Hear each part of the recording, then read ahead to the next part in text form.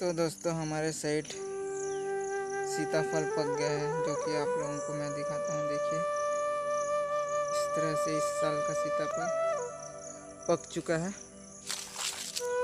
आपके साइड पका है या नहीं पका है कमेंट में ज़रूर बताइएगा। जो भी दोस्त मेरे वीडियो को देखते हैं।